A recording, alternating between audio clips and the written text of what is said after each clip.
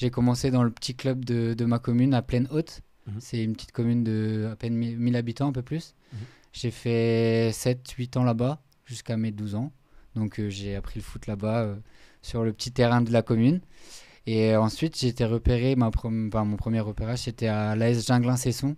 Du coup c'est la banlieue de Saint-Brieuc qui Mhm. est, à l'époque était au plus haut niveau, niveau régional. Donc U14 euh, c'était la DH à l'époque. Ok. U13 DH. Donc j'ai fait une année là-bas et que des bons souvenirs aussi. On a pris que des tôles toute l'année parce qu'on était que des premières années Ah ouais. Ok. et on jouait contre des grands du coup et on je crois on Vous a avez pu fini- vous maintenir du coup? Non, on finit dernier avec euh, 120 buts encaissés, je crois. Oh. Mais je fais une magnifique saison avec euh, 15 buts, Ouais. je Ah crois. Donc euh, j'ai un peu tapé dans l'œil de, de Guingamp du coup qui est venu. Mhm. Mais c'était une ouais, saison compliquée, on prenait 10-2, 10-3, 8-1 Ah et je marquais toujours le but. T'imagines de la consolation. Ouais. Tu sais que mon équipe au Brésil international, et, et c'est un joueur euh, connu inter- euh, à niveau international, Lucio, un défenseur. il a joué à la Lucio, Inter. Bien sûr. Ouais, bah, Il était repéré dans un match que mon équipe est allée à jouer au nord du pays Mm. et qu'ils ont gagné, je sais pas, 6, 7, 8, 0. Il était défenseur.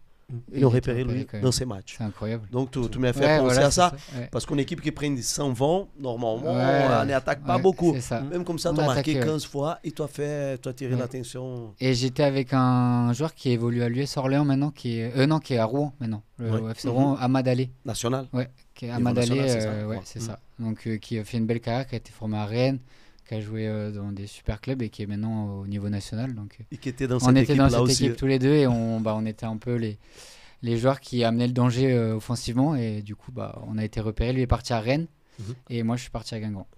Du coup c'était c'était cool. Et Mais voilà, comment ça voilà. se passe quand tu es repéré comme ça? C'est-à-dire qu'ils ils- ils viennent te chercher, ils te proposent quoi, euh, Guingamp? Guingamp, euh, bah, c'était Nicolas Laspal à l'époque, le, le coach des U15 du coup. Ouais. Il vient me, enfin, il- on jouait contre eux du coup à l'époque, donc on se prenait beaucoup de buts. Mais il a, il a aimé mon profil parce que je suis quelqu'un qui me bagarre beaucoup sur le terrain. Ils ont aimé mon profil et ils voyaient un potentiel, euh, je sais pas exactement lequel, mais ils en ont vu un et, et du coup je suis parti à, à Guingamp euh, parce que c'est juste à côté de Saint-Brieuc, c'est à 20 minutes. Mhm. Et c'était un peu, c'est le meilleur club euh, de, de la, de- des Côtes d'Armor. Donc c'était vraiment euh, hyper bien pour moi parce que c'était, euh, bah, c'était un rêve un peu. C'était mon, mon équipe de cœur parce que Guingamp, euh, je les supporte depuis que j'ai 4-5 ans aussi. C'est Drogba et Malouda qui m'ont fait aimer le foot ça, à ça. Guingamp. Donc c'était quand j'étais tout petit, mes premiers stades. Et euh, je me rappelle, la- bah, mon un de mes premiers matchs, c'était quand Ronaldinho euh, avait fait son slalom de fou à Guingamp en. Mm. Et, euh, et j'ai encore cette image-là. quoi. En avant Guingamp. Je passe quand même un petit, un petit coucou à un ami qui est vraiment fan de Guingamp. Qui Yannick Rivoal, si tu nous Hein écoutes, ce podcast est pour toi. C'est génial. C'est beau, belle région là, hein, c'est magnifique. Ouais, bah moi c'est ma J'ai eu région l'occasion c'est- visiter. C'est, gé- ouais, c'est, c'est génial. Il, il y a beaucoup de choses qui se disent, comme quoi il pleut, il fait froid, mais Ouais. au final j'ai fait plusieurs régions maintenant et je trouve que ça, ça équivaut à peu près. Donc Drogba, il a joué là-bas? Oui, bien sûr. Oui, il a, Oui, il donc, a, bah, c'est- il a éclos à Guingamp, il Mais a je fait une a fait ses armes. Et il a est parti à hein. Marseille juste après. Ouais, c'est ça. Et- Donc on est l'été jaune. Ouais, il était tout jeune, non ouais. Ouais, je- Il était tout 22, 23, Ouais, c'est 24 ça. Parce peut-être. qu'il a commencé tard. hein. Avec Euh, Malouda à l'époque, c'était les deux qui. Florent euh, Malouda, ouais. ouais, c'est et ils ont fait une- l'année historique où ils finissent sixième, je crois, C'est ça. de Ligue 1. Énorme. Il y aura beaucoup d'histoires, euh, donc euh, restez collés, abonnez-vous, donnez un like, la pouce et on y va. Donc, euh, Gangon, Guingamp, c'est ça. et voilà, tu n'as pas compris pourquoi ils t'ont pris. Bah, moi, je suis toujours très humble. Du coup, j'étais content et je me suis dit, j'ai encore plus de travail parce que je suis pas, je me considère pas comme un joueur hyper talentueux à la base. C'est beaucoup le travail qui m'a amené à faire ce que j'ai fait. Donc, euh, Guingamp, ça correspondait aussi avec mes valeurs. C'était un club très familial où on n'avait pas des conditions exceptionnelles d'entraînement. C'était beaucoup euh, le charbon, on va dire. Mhm. Et maintenant, c'est beaucoup mieux d'ailleurs. Mais euh, du coup, bah, ça s'est fait et j'ai j'ai pu évoluer rapidement euh, et être surclassé à chaque année presque. Donc j'ai j'ai vite joué en 17 nationaux. Mhm.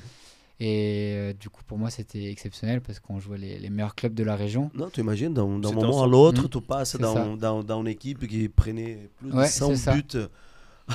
C'était un centre de formation. saison. Euh, bah, j'ai fait du coup le centre de préformation, c'est on arrive en quatrième. C'est c'est ça. Et du coup, on fait le collège, c'est pour deux ans. Donc j'avais un- on va dire, un accord de deux ans pour faire le, le collège. Ouais. Et euh, tous les ans, en fait, on, a, on, est, on sait si on est gardé ou pas en fonction de notre niveau footballistique. Mhm.